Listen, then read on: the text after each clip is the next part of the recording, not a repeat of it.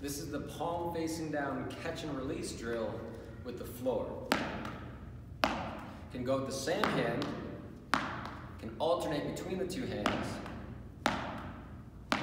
or you can kind of mix them both. Maybe a couple on the same hand, switch it over, switch it over.